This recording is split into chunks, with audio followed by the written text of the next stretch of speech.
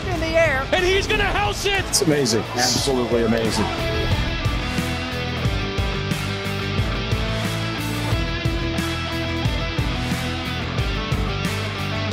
What's going on, everybody, and welcome to another Quick Six. I am your host, Kyle Robert. That is Brian Twining. We are here to break down the divisional round of the NFL playoffs. We'll go through all four games, give you some thoughts on the sides, on the totals, any player props we may like, and then give you our three best bets uh, at the end. I do want to throw up last week's bets, but before we do that, Brian, how the hell are you? Well, before throwing up last week's bets, let's just start this off by saying you're going to want to tail Kyle and fade my picks because I have been seeing a lot of red. So there is the plays. Let me zoom in. So I had three picks. Uh, I had Travis Etienne over 76 and a half rushing yards. I got to admit, um, I was a little concerned the way that game was going, but uh, shouts to the Jags for for not only coming back to to keep things interesting, but to to find a way to actually win the game. And Doug Pederson on that fourth down play where it looks like they're all going to sneak, and he does the little handoff and runs around the edge and uh, all that. So Etienne smashed that number. That was nice. Um, the Vikings minus three was probably the one I waffled on the most. I don't I don't know what to do with the Vikings. The offense did enough. The defense stunk. But the thing Uh, is, is we saw that all season. They Yeah. like they're the the the team or the division winner with the lowest margin of victory f- over since the merger or something Yeah. of that nature. So I mean, there was no reason to think that this game wasn't going to be tight. Yeah, and I think they had a negative point differential despite winning 13 games. It was absolutely absurd. And then uh Cowboys minus two and a half. I loved it, Brian. I told you. Um you were obviously a pessimistic Cowboys fan who was a little worried about how the game was going to go. Um, but that was one of my favorite plays from from the weekend, and I'm happy I stuck to my guns there too. Um, was was a pretty decent weekend. Um, and then we'll flip over to your side where it's it's not pretty. Um, the Bills struggling. The Thompson? Dolphins. Really? What what do, what do we make of that? Because like obviously like they got up seventeen nothing. It looked like they were on cruise control. They did a lot of just like YOLO deep shots. Um, Yeah. and then all of a sudden things got weird and there was some turnovers and the Dolphins just kept kicking field goals and making things interesting. I- I, guess it- like are it's you interesting because the Bills, like you would think that they'd be able to throttle people and just run away from them, which we've kind of seen in the past. But I think because they're they're almost like stuck in between whether or not they want to try to establish the run or just stick with the pass with Josh Allen. And I think they work in the run at times where they probably shouldn't when the passing game is working, which would help Yeah. them, you know, run away from teams. And then Josh Allen is inexplicably carrying the ball like a loaf of bread and just throwing into double coverage and making stupid decisions, like trying to go deep to John Brown, a completely ill-advised throw. Um, but yeah, like it, it it's interesting to see that they're not able to put teams away. And this Dolphins team that was playing rookie Skylar Thompson, like it it was I I for sure thought that this game was going to be a runaway. It looked like it was going to, and then all of a sudden the wheels fell off the Bills wagon. Yeah, and then I heard uh, I was listening to a pod this week, and they talked about Josh Allen has kind of like Jay Cutler moments from time to time, where just like not for the full game, but he'll have like yeah, a couple drives or maybe a quarter where he's just doing stuff that like you don't expect him to do, and things that he did before he kind of got elevated with Brian Daboll and Stefon Diggs and all those people. Um, but yeah, I felt like they were going to crush him, and then they kind of let him hang around. They kind of let weird stuff, and it's not like it's not like Skylar Thompson did amazing or Tyreek had a, two touchdowns. It was just weird stuff. So I'm trying not to get too worried about it, but it was definitely interesting. Uh, you had the under and Giants Vikings. I think we were both very similar there. Um, that game got wild. The Giants constantly had people running free in the secondary. They just did these crossing routes, and the the Vikings just could not figure it out. And then obviously the Vikings offensively were able to do things. So Uh, the under was never in play. That No. was that was over by I think the third quarter. So, um, and then the Dallas Tampa over. Don't even get me started on that. 45 is what they ended up finishing. I thought we were gonna get the over for sure the way that game was going. Um, I mean, the Cowboys definitely did their part. The Mhm. offense did their part. If stupid Brett Maher makes one, one of those effing extra points, Yep. we're looking at a cover. yep. So frustrating week for you for sure. It's been a frustrating Um, season. Yes, but I'm still 34 and 26, still hitting 57% of my bets. So I am not going to complain. Uh let's jump into it. We'll run through the four games. We'll talk about our thoughts and kind of go. And we'll start on Saturday with the early games. Uh we have the Kansas City Chiefs minus eight and a half versus the Jacksonville Jaguars. The Jags had this impre- in, insane 27 point uh, comeback, beat the Chargers. Obviously, being at home helped a little bit, um, but they were able to do just enough to get to cover town. The defense made a few plays at the end. The offense did um, some amazing stuff. Obviously, um, you know, it, it was nice to see that you can throw four interceptions um, and still win the game, Ryan Tannehill. So, um, would have been nice if you could have done that last year, but you know, I'm not gonna be bitter about that at all. Um, so Brian, I, I want to talk about this game because I think both of us were very similar. Like Chiefs, whatever the number, let's just lay it and not even think about it. But as like the week's gone along, I'm starting to to wonder if that is the play. Where where are you at? I'm still, I, I mean, I'll, I'll start by saying like this is not data backed whatsoever. This is literally just my perception of what we I'm going to see here. Like as much, although I talked about Doug Pederson's experience in the playoffs last week going against the Chargers, like this is a completely different animal. We're talking about Andy Reid coming off of a bye in the playoffs with Patrick Mahomes, an offense that towards the back half of the season looked absolutely unstoppable, a defense that is getting healthier. Um, I think we saw Frank Clark return to practice today, so that'll be a huge addition to them if they get him back. And this is a Jaguars team, like you said, who dropped back 27 points to the Chargers. And then all of a sudden, Brandon Staley decided, let's get super conservative and allow Jacksonville to get back in this game, where that is not going to happen with the Chiefs and Andy Reid. Patrick Mahomes is not going to allow that. And looking back on some of the numbers, um, that two of the last three years, the Chiefs' first playoff game, they won by double digits. So I think that this is something of a of a game that they're facing a team who needed everything they could muster in order to come back to even advance to this stage. While they're going to be fully rested, their game plan is going to be, I mean, their their T's will be crossed, their I's will be dotted, and they will be hitting on all cylinders, in my opinion. So I, I still like the Chiefs laying the number. Yeah, I think I do too.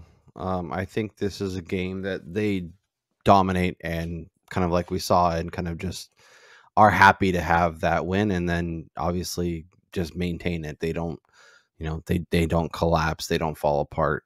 Um, I think my favorite play for this game is the under. I, I think this is a little bit of a more lower scoring game.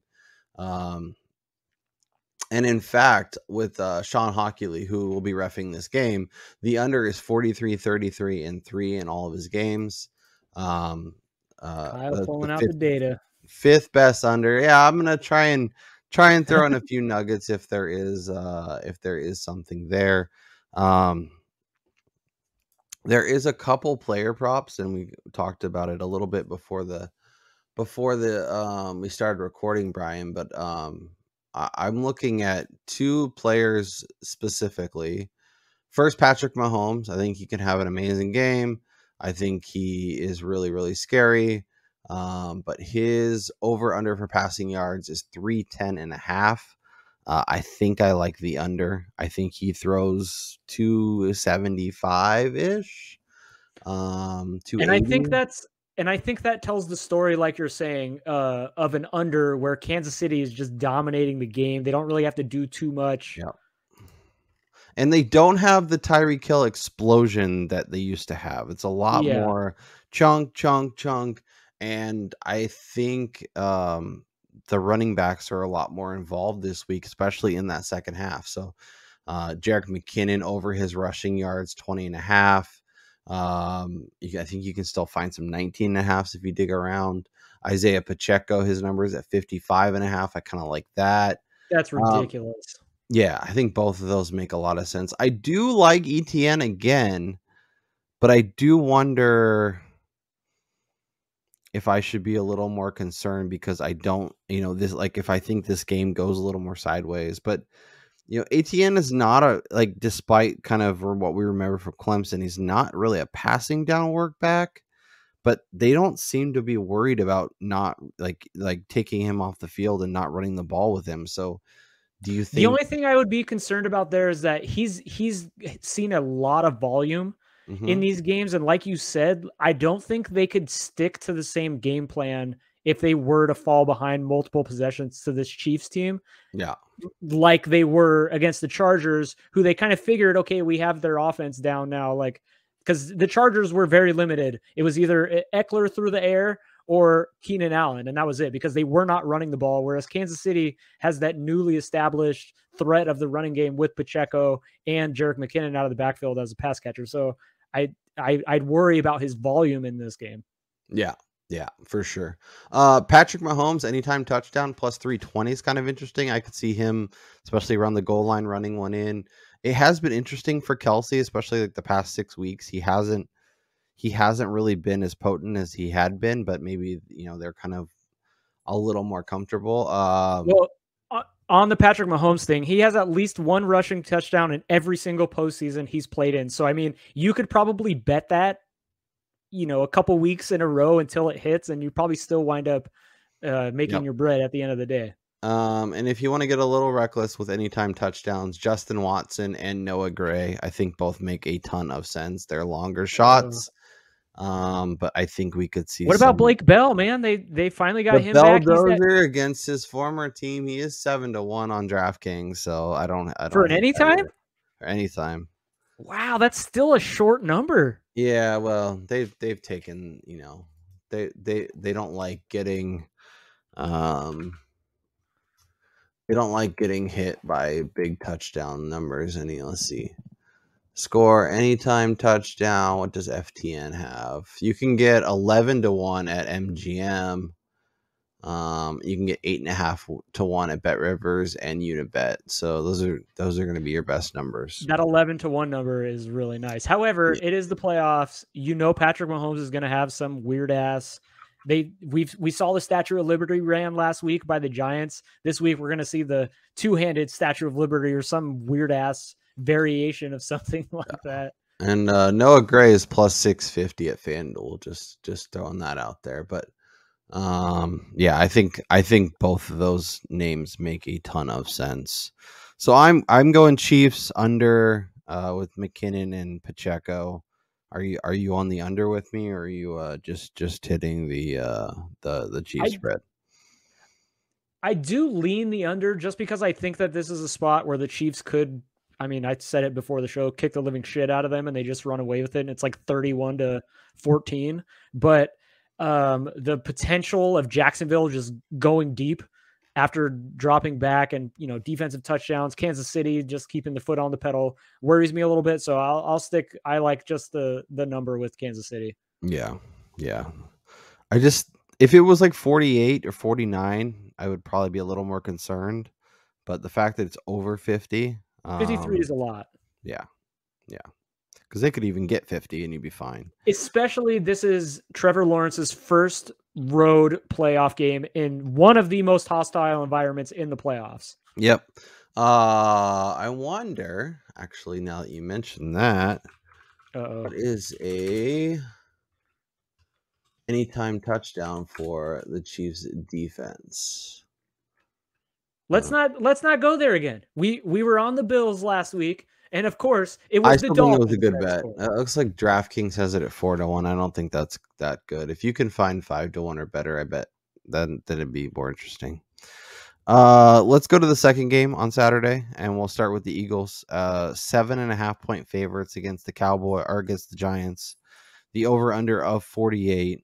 Interesting spot. Um, I think the Giants impressed a lot of people. I think they're getting a lot of um, a lot of attention this week. Obviously, my guy Daniel Jones looked great, made some made some amazing plays, was finding his receivers, was running the ball super effectively. Um, but does he turn into a pumpkin this week? But does he turn into a pumpkin this week? That's that is the question. Um, so I guess what's your overall read on this game and and kind of expectations for how this may play out? Well, I mean, first I want to talk about uh you you made the comment, maybe it's a prognostication by Kyle that he likes the Cowboys to be the 49ers. He said Eagles, Cowboys. Uh no. In all seriousness, uh it, you can count me as one of those persons that is sold on the Giants, maybe not full wholeheartedly, but I've been coming around on them as the season has gone along, mainly because they feel like a gritty type of team. Like the defense is good enough, I think, to keep them in games. And as long as Daniel Jones is not making mistakes, they they have what it takes, but I do worry about their firepower on offense. I mean, Isaiah Hodgins, Richie James, like Darius Slayton got beat up during that game. It, are we gonna have to see Kenny Golladay out here this week? Like, I worry that they're gonna have enough. Yeah. Against an Eagles team who, just like the Chiefs, coming off of a bye, fully rested, fully healthy. Jalen Hurts another week, per, uh, healthier. Like it, I, I lean the Giants with the points, but it's probably not a game that I'm going to be betting. Yeah, I think for me this might I'm I haven't I'm I I still have one empty spot on my betting card, and this is one of my options. The Giant or the Eagles minus seven and a half. I, I love Philadelphia this week. We were talking a little bit about it prior to recording, but obviously if you look at the game, against you know in week week 18 when it was a 22 to 16 everybody sees the final score but that was a game where the eagles were dominating for three quarters and kind of let the giants hang around um, a lot of their guys came out and then obviously early in the season whenever when the, the eagles were clicking and rolling yeah um, they dump trucked them so I, I think this is a good spot the Eagles are also getting much healthier. Obviously, Hurts back, but on the defensive side of the ball too, which I think is really important. Um, their their defensive line is getting healthier. If they can slow down Saquon, they can slow down Daniel Jones in the running game. I think they have a good chance at um, at um, at, at winning this game comfortably. I think this could be this could be the game that they win by 10 points 12 points and and everybody's like wow the this eagles team looks legit um i do want to talk about the quarterbacks because they both are incredibly compelling from a running standpoint um and you know they my um jalen hurts' rushing prop is a lot lower than i thought it was going to be and i think there is some concern about how yeah, much he may run and that's kind of their but he ran nine times in week 18 in a game that really didn't matter. And he ran for like, I think 77 yards um, in their first contest. And if you go to look at his rushing prop, it's 49 and a half, 50, 50 and a half. Like the over feels very much in play. It feels like he could rip off a 35, 30 yard run and then kind of chunk his way up to the rest of it. Well, my um, my my counter to that for Jalen Hurts in particular is that if you think that they're going to dump truck the Giants, they may go completely away from any designed runs and yeah. l- literally tell him like, "Listen, you are not running. Throw it away." Yeah. Yeah, I I mean, I that makes sense, but they ran it 9 times in his first game back. He yeah. ran all over them in their previous matchup. I I don't know. Um, and then Daniel Jones's rushing prop is really interesting too. I could see a situation where he's kind of forced out of the pocket a little bit more and has to run for his life. Um, and as long as um, you know, I, I, could see him making some plays, and uh, my brain is not working. Um, he only ran and, for like 27 yards the first time they played, though. Yeah. So I mean, like that is one thing. Philly does have a really good front seven. They're mm-hmm. good at containing quarterbacks. Um, you know, they're not going to be holding anything back this week. So, yeah, yeah, and I think you know, I we saw a lot of Daniel Jones stuff last week, but I think that was scripted against Min- the what Minnesota wanted to do. Yeah, um, and I obviously, you know, Daniel Jones has had some amazing passing performances, but his two biggest ones have come against Minnesota. So I, I think the Eagles Eagles dump truck them here, and and I think they cover Well, this number with ease. I think it's also really interesting too when you look at Daniel Jones's number of 40 something whatever whatever it's posted at. I think at DraftKings Mm-hmm. it's 40 45 and a half. When you look back at his entire season, he only went over that number six times like in in the 16 games that he ran. So I mean, I I- and then when you look at when he played really good defenses, they, he was not putting up those kinds of numbers. Like in division, I don't think he did it once. So I mean, or he did it. He did it week three against the Cowboys, but outside of that, he got held held down by Washington and Philadelphia. So I worry about his rushing prop, and I think Philly may kind of take the same stance that a lot of teams have done in the past to say Lamar Jackson, where they're like, listen, we're going to prevent this guy from getting out of the pocket, make him beat us through the air to his non-legit targets on the outside who Yeah. even our third corner like our slot corner can cover their number one guy and I think the secondary for Philly is so much better than what Minnesota has. oh it's it not even make- close It should, yeah. So it should the the guys won't be running free in the secondary like they were a week ago. I also like Yeah. Miles Sanders a lot this week. I think he could have be a nice um anytime touchdown, um, you know, rush yards prop, all that kind of stuff. I, I did want to look at real quick though is like uh something that just came to mind uh Saquon receptions prop That's a good call. because I do think that it's going to be really difficult for Jones to have time in the pocket. And you may uh, four and a half right now at DK at plus money at plus one fifteen.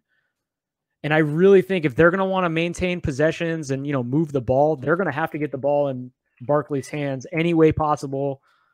Um, you know, he had five receptions against Minnesota. He had two the previous game before that, but he had eight against Minnesota in week 16, five against Washington in week 15. He's gone four or more receptions, one, two, three, four, five of the last seven games that he's played in. Like, Yeah. I think Saquon will be a major part of the passing game. So I'm actually that, that that's actually going to be one of the bets that I go with this week. Saquon receptions over four and a half plus. I money. like it. I like it a lot. Uh, his longest reception is also set at like 11 and a half. I think that's very much in play Oh, where yeah. you could go over that. Um, because he looks he looks incredible. He looks Yeah. fully healthy finally. and his receiving yards are around 25, just like between 23 and a half and 24 and a half. Um, so I don't hate that either. I think I think that makes a lot of sense. And if and if we're working it from the idea that the Eagles play really well, they probably win by a lot. I, That that that all kind of kind of goes together. So let's and you're not taking over and talk about. Sunday's games because while Saturday is going to be a nice appetizer and give us a lot to, to be excited about. I think Sundays is is where all the action is. And let's go to the first game where the Bills are now five and a half point favorites most places. Um, open up obviously at three point three and a half. The Bengals made me really can uh, question what their ceiling is against in that game against Baltimore, and yeah, but you can't honestly, in my opinion, you cannot read too much about a divisional game, especially in the AFC North. Yeah. Like, if there's any division that knows each other, you know, basically down to the blueprint, it's the AFC North because all of those coaches outside of Zac Taylor really has been, have been there forever. Yeah, no, that's fair. That's fair. Um, this is also obviously the Damar Hamlin game, so I'm very curious to see if Good there's point. any weird stuff. If Tee Higgins catches the ball and runs into a defender, you know, does does he not try and Have, like, finish the run? Almost. Does he over? Yeah, like it, it, there is a lot of um interesting like mental things that could come out of this game. Um obviously from an injury perspective, the Bengals are piling them up and it's getting a little bit concerning. They lost Jonah Williams um in their game against Baltimore. It doesn't it's basically he's he's already ruled out, right? Yeah, he's already ruled They're- out. They, they lost. Alex Cappa the week before Yeah. that. Yeah, I think they're down three offensive linemen at this point. Obviously, the Bills' pass rush without Von Miller isn't quite as good, but when you're going up against that that defense, that's gonna be that's gonna be challenge. Um, And But it is interesting to note, like we let off the show recapping the games last week, and if Miami was able to move the ball with a Mhm. rookie quarterback, with an also an offensive line who has been very injured, and they're just kind of finding their way, like Yeah. Even with a, a turnstile in front of him, Joe Burrow should be able to, you know, get the ball to the outside. He has quite possibly the best receiving core in the NFL altogether. I I mean, Yeah, so for me, this game, if you like the Bengals to cover the number, I think you have to take them on the money line. Oh yeah, we, feel talked like about the- that before in games like this. Like Mhm. this should be three and a half in my opinion, not not five. Right, and if if you think that, then obviously the Bengals getting five and a half is is a steal, and if you keep waiting, you may get six. Um, but I think it's Bengals money line or giant or Bills alt line. Like I think the Bills either win comfortably, um, and and we kind of wonder, you know, because obviously, like last year the Bengals just like they they obviously had the plays against the Raiders, and then that the touchdown that was called back. Um, you know, Ryan Tannehill threw four interceptions, and they still probably should have lost. Um, you know, they were down big to the Chiefs, and then ended up um, coming back and winning outright. And the arguably their best performance was in the Super Bowl, which was the game they lost. So, pretty wild run for them last year. Um, I'm curious to see if they can recreate some of that magic. I think it's going to be a bit of a challenge, but I I don't know. I I think it's Bills or nothing. But you know, you're you're a little more optimistic than I am. Well, and then like something else, uh, I I'm I'm a sucker for like numbers and statistics and trends and stuff like that. The Bengals have lost a total of 11 games the last two years, but only three of those have been by more than five points. Yeah. Like they they they they're in games, and I think that has a lot to do with their firepower on offense. And we saw it last year in the playoffs. Like they were never out of a game. They had Ice Iceman uh, Evan McPherson kicking 50 plus yard field goals left and right to win them games. They went to Kansas City to get to the Super Bowl. Like this is this is not unfamiliar territory for this squad, even dealing with injuries. And mind you, this team made it to the Super Bowl last year with an offensive line, which was probably worse with their starters than this team is with playing their backups at, at three fifths of the position. So, I mean, you to me, I think that's kind of a yes, it hurts their chances, but I almost think that they can overcome that like it's nothing because they were used to not having good blocking in front of Joe Burrow, anyways. Yeah. Um, so I'm trying to find the numbers. Uh, but in his la as of this is as of December 11th, he was 17 and 3 against the spread. He's just a cover machine. Uh, oh, here we go. 19 and 3 against the spread in his last 22 starts. Are we talking about Joe? Seven straight covers. Huh? You talking about Joe Burrow? Yeah. Um, and in fact, when it's cold, he does even better.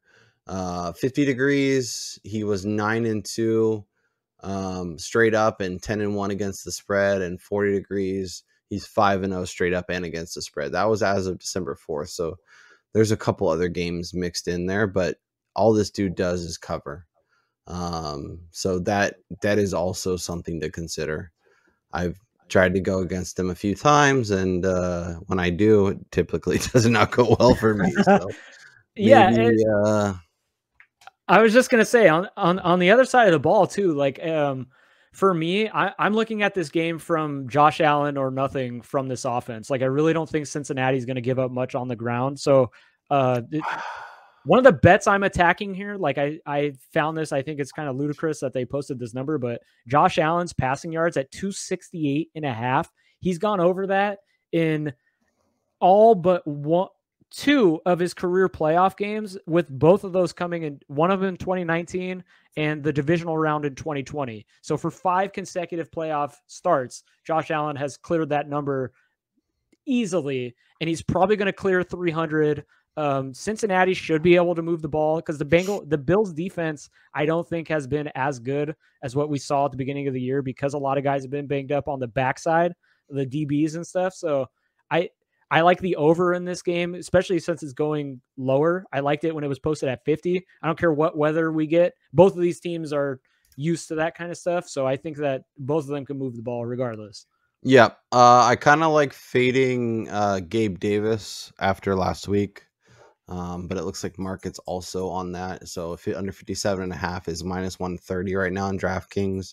Um, I do think James Cook has a big game here. I think I don't know. I'm trying. There's no receiving props up for him yet, or at least that I can find. But his rushing props um, are are pretty interesting. I think what are they? Uh, 36 and a half, 39 and a half, depending on where you look. I think he could be um, much more impactful on the ground than, than I think they've been kind of building him up to this spot.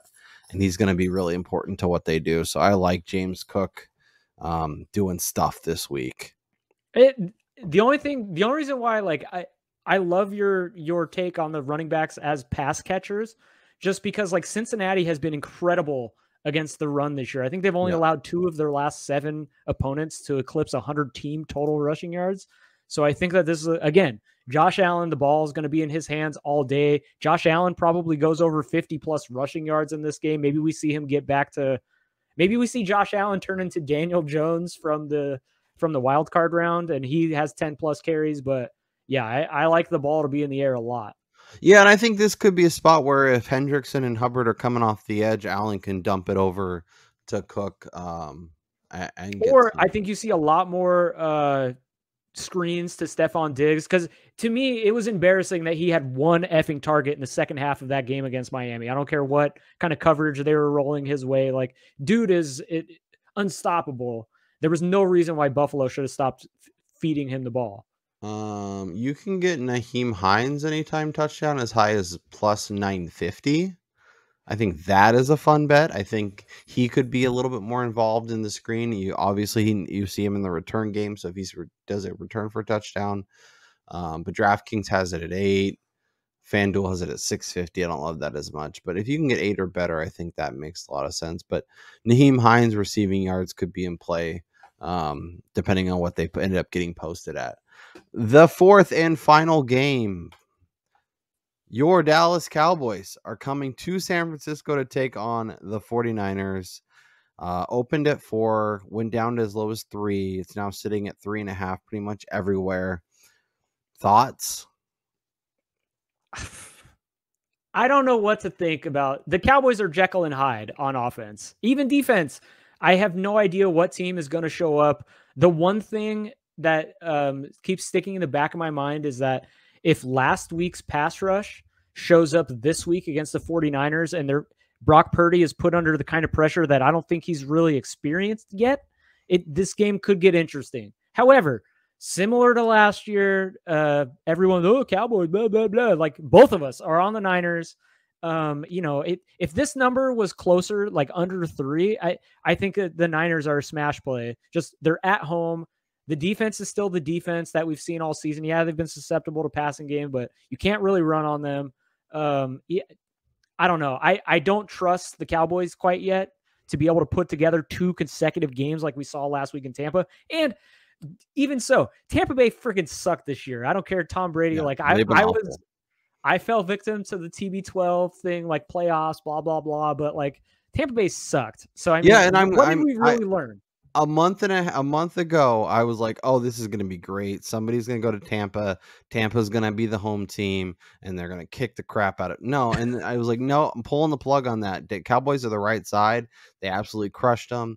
Uh, but this game comes down to Dak Prescott. If Dak Prescott yeah. plays like he did last week, sp- especially once they kind of got rolling, yeah, you can throw on the Niners. That is the best way to attack this defense. But, but if, it's having time to throw but on. But if Niners. turnover Dak shows up and he throws a couple picks, and Nick Bosa's partying in the backfield, and Armstead and all these guys are just constantly putting pressure on him, the Niners are going to dump truck Dallas. You know, we talked about it a little bit with sing with Bengals, Bills. I think this is a take the Cowboys on the money line or the Niners alt line because this line being where it is, I grabbed it at four, thinking it was going to go up closer to six. Um, so it going back, d- d- didn't love that. Um, that concerns me a little bit, but there's there's clearly like excitement about what this Cowboys team. And we talked about it even when we did our bracket. This felt felt like a team that would either lose in round one Yep. or would get a ton could- of momentum and push towards the Super Bowl. And maybe they win this game. Maybe Brock Purdy shows up as a rookie. Dak has an amazing playoff. I mean, we've seen guys who even in the season didn't do as amazing be able to put it together for four straight games. And if Dallas beats the Niners and then beats the Eagles, they're all of a sudden in the Super Bowl. And they make a hell of a lot of sense that if you like Dallas this week, to look at those Super Bowl futures because you could get a decent number right now. But Well, um, especially again, it would be it's going to be a divisional matchup no matter what in the NFC Championship game if Dallas moves on. So I mean, Yeah. they're not going into unfamiliar territory regardless of whether or not it's Philly or the Giants. And if they're the home team for the NFC Championship, if the Giants were to upset Philadelphia, Yep. like Dallas is probably a six and a half point favorite. I mean, close to what Philly is. I mean, yeah, yeah.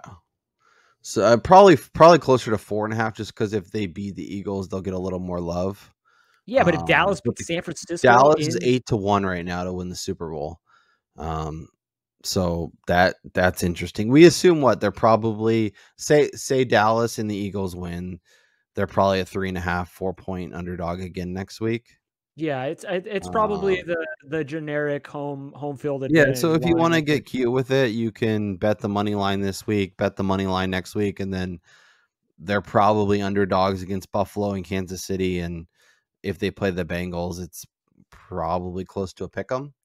Um, and then obviously Jacksonville, who knows? But um, I don't think anybody expects that at this point. no, Um, so yeah, so I that that's another way to play it. If you like really like Dallas, just hammer the money line, hammer it again, and hammer it again until until they lose. Um, so I wanted to get your opinion on this because last year I think we hit on like every single, uh, all across the board. We hit the against the spread, over under, and the money line in this game when San Francisco went to Dallas. We we like the under, blah blah blah. Uh, this game feels the number feels a little ominous to me because if we do like Dallas to compete here, I think they're going to have to put up points. Like this is not going to be a spot where they could win 20 to 17 Yeah. against the 49ers. Right. I I think the over is probably the play. I think if Dallas wins, it's probably an over. If the Niners win, it could be a close win and it probably goes over. If the Niners steamroll them, it probably goes over. Um, I was just going to say like this feels like a spot where one of them is scoring 30 and the other one is probably getting to 17. You know, 16, 17, maybe maybe 20. mhm. This is more played in the high 40s, low 50s. I think both these defenses have a really good chance at scoring touchdowns. Um, special teams, Ke- KaVontae Turpin could score one.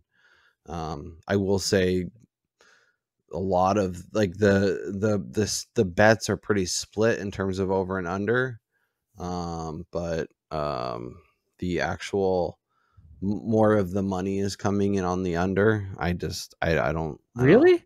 yeah just kind of interesting and 46 46 and a half like what's that tw- if we get say 27 23 27 20 um 31 That's what I mean. Like it it the Cowboys have been at times this year Jacksonville put up 31 against them when they came Yeah. back. Like teams have been unless able to you think it's going to be like 31 to 13 or 28 to 9 something like that like you think the niners just dump truck them maybe but i if just i this was like the with- Niners defense of the first quarter of the season, I think that would be possible. But because of the holes that we've kind of seen recently, I to think that the Cowboys aren't going to find the end zone twice in this game, especially in a spot where they're an underdog, and San Francisco is probably going to score. Like I don't think Dallas is going to be able to hold back the efficiency of what San Francisco presents, like they did against Tampa, who's pass only. Yeah. Yeah. Um Yeah, I mean just like the the here's the so basically since Christmas the Niners have scored 37, 37, 38 and 41. That's their last 4 weeks. That's basically Brock has been amazing. They have all of their weapons. They're pushing pieces around. So I think the Niners score 3 something, 30 something. Um, and then you just need between 14 and 17 from Dallas to to kind of get to the over. I just I just think the over is so much more in play. What do you uh, what do you think about interception props for this game? I mean, Dak broke his string of games I with a pick. What, what's what's what's his number to throw a pick? So on DK, it's minus 150. That's not great juice, but yeah, yeah. I think I think he throws one for sure.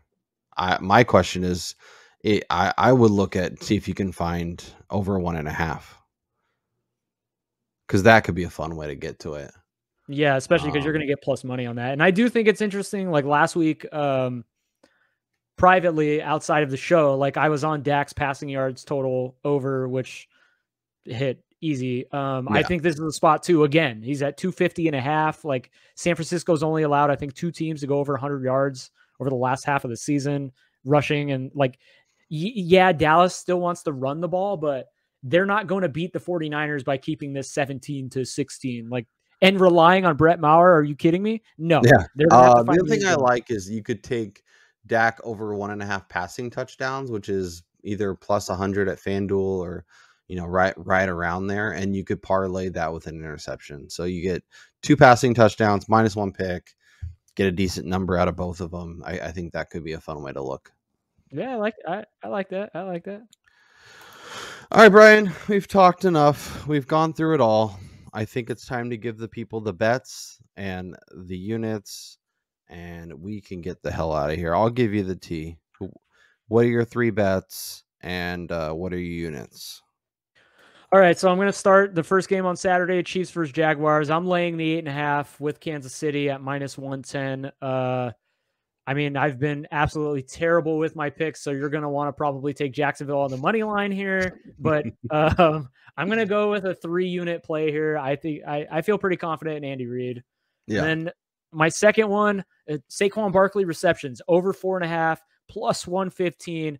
I think this is a big spot for him in the passing game. I think maybe it's six or seven receptions from him. So I'm going to go five units on this. I feel Woo! really good about Saquon being utilized in the passing nice game. Juice too. And then the last one, which uh, I mean, probably I, I, would do this to try to recoup some of my losses, but I would also go five units on this. But uh, uh, just for the show purpose, it's only going to be two units. Josh Allen over 268.85 passing yards. He's gone over 300 in like five consecutive playoff games or some something of that nature. Like I think this is Josh Allen game through the air. I think both these teams score a lot. So I also like the over in this game. But for the show, Josh Allen passing yards over 268 and a half at two units. Yeah, I, I like that. Um, I will caution people to avoid uh, money line parlays and teasers that are Chiefs Eagles. Um, oh yeah. Weird things happen with one seeds. Weird things happen with divisions. Um, you know, you can use one or two um, and find different ways to attack it, but uh, be be cautious just loading up on that. Uh, my three bets: I am going Jerick McKinnon over 19 and a half rushing yards, a lot like uh, with your with your plays there, Brian. I think he has a nice game. I think Jerick McKinnon anytime touchdown. It's a little, it's like even money, but it's fine. Um, Jerick McKinnon two touchdowns could be fun. You know, I, I think McKinnon has a nice game here. Um, so I'm going to put three units on that. Um, I love Philadelphia minus seven and a half um, against the Giants. I think they cover this number pretty easily. I think the Giants have been incredibly fun. Um, and you know, I'm excited to see what they can be, especially if they decide to keep Daniel Jones around. Uh, but I think the Eagles are a different animal, and I think they remind people how special they are. Um, starting this week. I'm going to put three units on that. And the San Francisco 49ers minus three and a half versus the Dallas Cowboys is my third and final bet. And that is getting four units. That is my favorite play of the weekend. That was the first thing on my personal betting card, the third first thing on my betting card for the show. Um, I think the Niners defense is incredibly legit. I think Dak having his INT woes um, and I'm also curious on your thoughts on this as we get out of here, Brian. But we saw Tony Pollard really get the majority of the work um, against Tampa in key spots. is that something you think we expect to see going forward? Or do you think if this game gets a little shisty, maybe a little gross, um, when it when it really matters, it's it's Zeke out there getting the ball? I mean, it's friggin' far too late for fantasy football people, like for the Cowboys to finally realize that Tony Pollard's better than Zeke Elliott at this stage yeah. of their careers. However, in this game, I think we see Zeke more than Pollard just because of the type of defense that San Francisco presents. Like when Dallas runs, I think you see more of Zeke. And then they use Pollard finally again, they get him more involved in the passing game. Like I really don't think the Cowboys are going to be able to just bust it in there and three yards of to a cloud of dust against yeah. this 49ers team and hope to be successful. So Zeke's rushing yards is like 35, 35 and a half. You can get a Zeke anytime touchdown at plus 170. What are his what what's his attempts? His rush attempts. That that would be a number that I would I would look at because last week what I can find he was super limited. Uh, I don't see it in there. Let me go back to DraftKings and see if they have a number for us. Uh, uh, yeah, they don't even have it on. I'm checking at Prize Picks too to see if they have a number posted, but they don't yet. Uh, yeah, no rushing attempts, but yeah, that could be an interesting way to look at it too. Yeah, because I do think that Zeke will get the majority of if they have like second and second and five or something, he's going to yep. get those carries. Or you can also look at going against Tony Pollard too, and just taking the under on his attempts and his yards and stuff. So, um, those are our bets. Those are our units. Once again, I'm on McKinnon over 19 and a half rushing yards. The Eagles minus seven and a half, and the Niners minus three and a half. Brian is on the Chiefs minus eight and a half. Saquon Barkley over four and a half receptions. And Josh Allen over 20, 268.5 passing yards. Enjoy the games, win some money. We will be back next week. We also have NASCAR content coming your way. So if you like NASCAR, if you want to bet NASCAR, make sure you hit the subscribe button. Make sure you hit the thumbs up if you're enjoying what we're doing. And we'll four weeks.